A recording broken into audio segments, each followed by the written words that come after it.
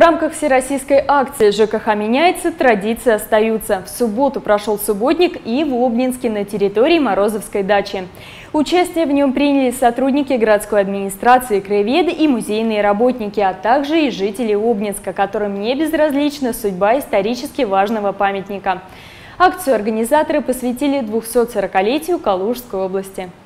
Мы сегодня проводим э, субботник организованной администрации города Обнинска. Э, и находимся мы на территории усадебного комплекса, который в городе известен как Морозовская дача.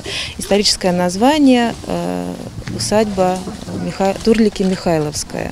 По ходу субботника присутствующие подробнее узнали об историческом значении усадьбы, которая была возведена более столетия назад.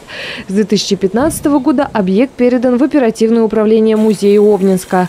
Далее началась планомерная работа по облагораживанию территории и сохранению исторического комплекса. С сентября прошлого года здесь уже состоялось 15 субботников. Стоит отметить, что помогают сохранять Морозовскую дачу Обнинцы абсолютно разных возрастов и профессий. Во-первых, дачу отдали городу, и здесь будет музей. Это то, о чем мы мечтали много лет, а наконец это свершилось. Ну, и надо убраться, чтобы ее привести в божеский вид. Так что все замечательно, правильно и хорошо. Занимаемся уборкой дачи. Наша городская достопримечательность. Мы, работники администрации, пришли убираться, помогать городу. Детей своих вот привели, они тоже участвуют активно в уборке. Ну вот, этим мы сегодня занимаемся. Город молодой.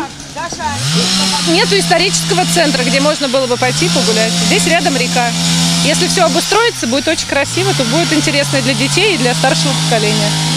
Только за один день силами обнинцев, производивших обрезку кустарника и уборку сухостоя на территории Морозовской дачи, было собрано около 40 кубометров древесных отходов. Кроме того, данный субботник – это еще и подготовка к празднованию юбилея Обнинска. На 30 июля э, запланирован показ э, спектакля э, театра Дэми. Спектакль по произведениям Виктора Петровича Обнинского хозяина, строителя этого дома.